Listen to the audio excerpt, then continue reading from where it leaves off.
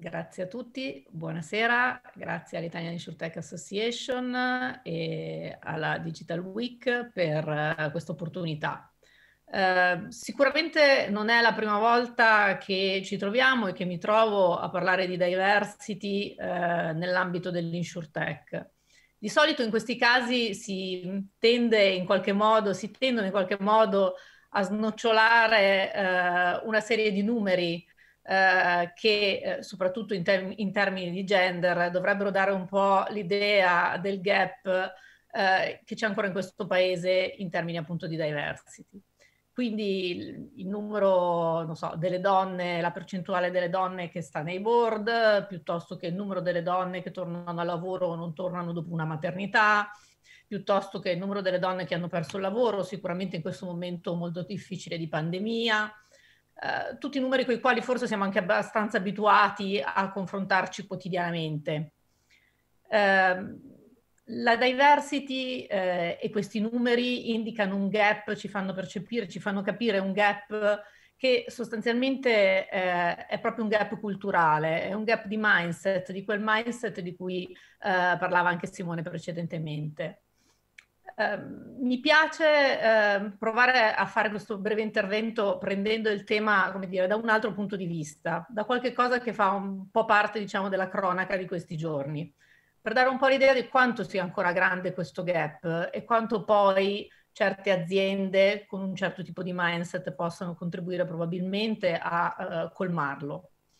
eh, è di, credo ieri o l'altro ieri, la notizia eh, che appunto la regione Lombardia in una, serie, in una serie di follow-up che ha fatto su persone eh, che hanno avuto il Covid e ne sono guarite, eh, ha dire, proposto eh, a queste persone un test. All'interno di questo test vi erano delle domande ehm, del tipo riesci ancora a lavare e a prenderti cura, a lavare la biancheria per tutta la famiglia oppure ti occupi solo delle cose più semplici e eh, non riesci più a fare le cose come le facevi in precedenza, riesci a cucinare per tutta la tua famiglia, eccetera. Tutte queste domande, questo poi ha fatto abbastanza scalpore, l'avrete letto tutti sui giornali,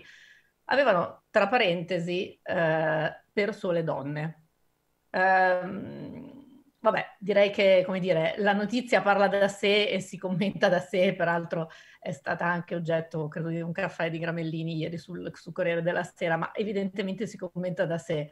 Ma che cosa vuol dire questa cosa? Vuol dire che il gap non solo c'è, ma è che è gigantesco. Cioè parliamo della regione Lombardia, non di una piccola azienda che ha fatto una gaff. Parliamo di qualcosa di macroscopico che ci fa capire quale sia e quanto sia grande il mindset che c'è da cambiare dietro. Questo ancora più dei numeri, se vogliamo. È una notizia, mm, prima si citava Rosa Parks, ecco, non voglio, certamente non è nulla di paragonabile a quello, ma se si pensa agli anni che sono passati da allora, effettivamente è una notizia abbastanza sconvolgente che fa capire quanto grande sia il gap quanto grande sia il gap in termini di diversity, evidentemente non solo di gender, ma di diversity in genere.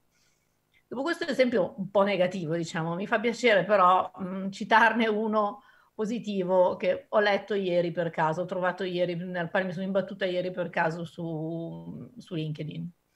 Eh, c'era una foto di un ragazzo abbracciato a una signora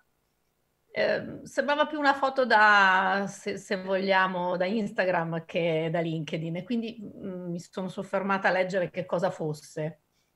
Eh, il post di questo ragazzo era, mm, mi ha colpita molto perché sostanzialmente questo ragazzo diceva questa è mia, la persona della foto è mia madre eh, che fa l'impiegata amministrativa e ha perso il lavoro in questo periodo di pandemia lei mi ha dato tutto, mi ha permesso di studiare, eccetera, eccetera, eh, mi piacerebbe che qualcuno adesso le desse una mano.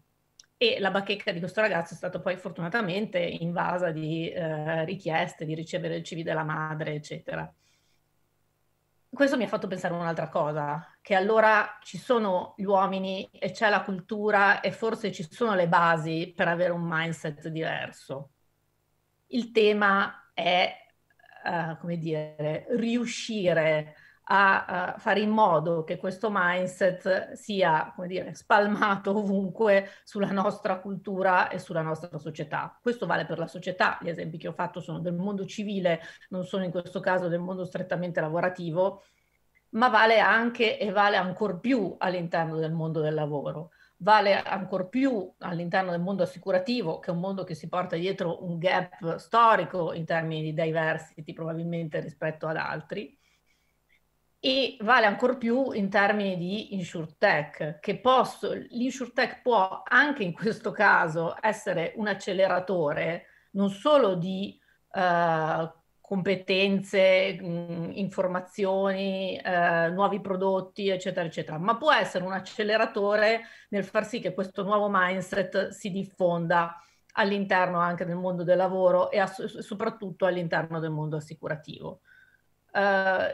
questo è uno dei motivi per cui, mh, secondo me, al di là di tutti gli aspetti più tecnici di cui parleremo poi, parlerete poi, parleranno gli altri relatori successivamente, è uno dei temi particolarmente affascinanti e la grande opportunità di questo mondo il poter provare o il, speriamo il riuscire a colmare questo gap che appunto non è solo un gap di gender ma è un gap eh, di età, di provenienza geografica, di, di mille altre cose, a colmare questo gap, il gap della diversity con un approccio nuovo, un approccio diverso. Lo stesso approccio che l'InsurTech porta nel fare le cose lo può portare anche in questo e fare le cose in maniera diversa e con un mindset diverso perché solo accettando la diversità ed essendo realmente e veramente inclusivi si può portare ovunque come dire, l'approccio di quel ragazzo che cercava il lavoro per la persona che aveva consentito a lui di trovarne uno